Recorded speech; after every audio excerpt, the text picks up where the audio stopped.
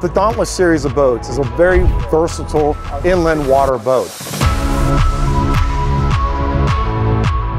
However, as you can see from many of the features that we include on the boat, it is for a serious fisherman, yet allowing the family to have great areas to relax and enjoy things like the sandbar or going to restaurants. Key features on the Dauntless series of boat include many options for fishing, as well as convertible seating for the entire family. This series of boats allows you to do island hopping, sandbar hopping, going out to the fishing areas with your entire family, as well as giving you just a platinum ride.